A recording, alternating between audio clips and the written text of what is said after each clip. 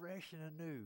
And not only for your victory, I believe that you and I can walk in a victory that others can share in. And we can help them, pull them like it were, like little things out of the fire to save them. Hallelujah, what a privilege.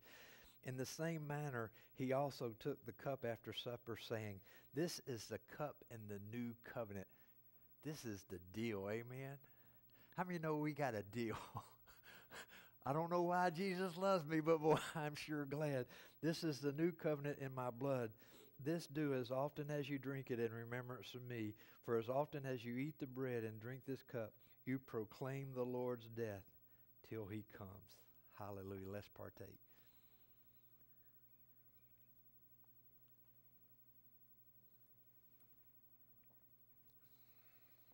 Thank you, Lord. Thank you, Lord. Just to express some thanksgiving. We just praise you, Lord. Thank you for this place. Thank you for this family of believers. Thank you for our power that we have in you, Lord. Thank you for forgiveness. Thank you that our past is forgiving and we have a new day to start today, Lord. Thank you. If any man be in Christ, he is a new creation. Old things have passed away by the authority in Jesus' name, I just break off chains and things that are holding us back. Thank you, Lord. Amen. Hallelujah.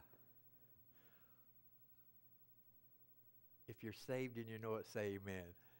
amen. Who would like to pray? Mr. Donnie.